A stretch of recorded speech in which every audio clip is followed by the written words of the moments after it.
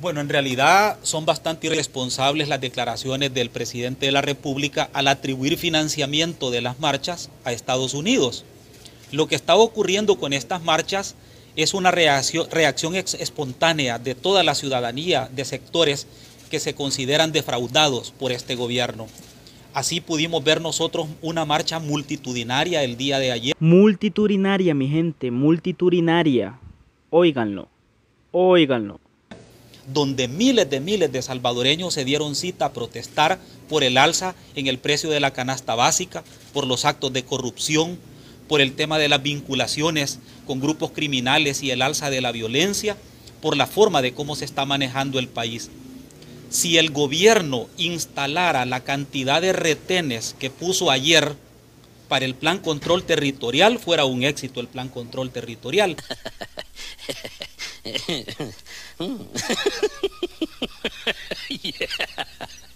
Lamentablemente utiliza los retenes de la policía y la Fuerza Armada para amedrentar a las personas que quieren manifestarse eh, públicamente en contra del gobierno. En ese sentido nos parecen irresponsables las declaraciones del presidente de señalar a Estados Unidos de estar financiando este tipo de marchas cuando en realidad es el pueblo salvadoreño quien con su esfuerzo paga un pasaje para poder venir y mostrar su descontento con la forma de cómo se está gobernando el país.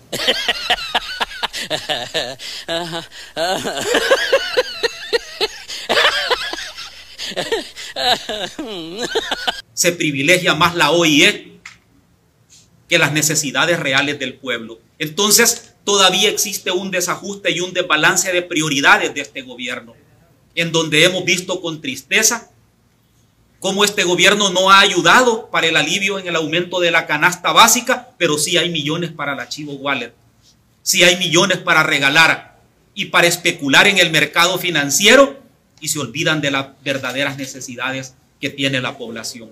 Por esa razón consideramos que el presupuesto todavía debe ser reajustado y analizado en función de las prioridades de la gente y no de las actividades del Estado que no le traen ningún beneficio a la población.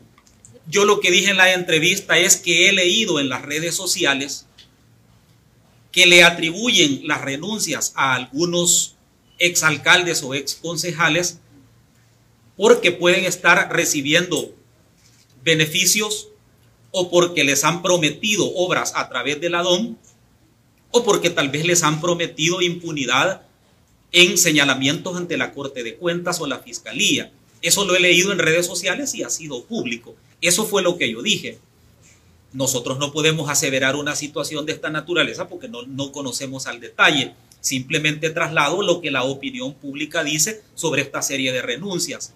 No me cabe ni la menor duda de que pueden existir gente muy buena que se puede estar retirando del partido y por eso es que nosotros nos sumamos a las voces de que debe de elegirse una dirigencia lo antes posible para que el partido tenga una cabeza de conducción y pueda redefinirse el trabajo territorial, sobre todo del partido, no para convertir a Arena solo en una oposición política, sino en una opción de gobierno en el 2024.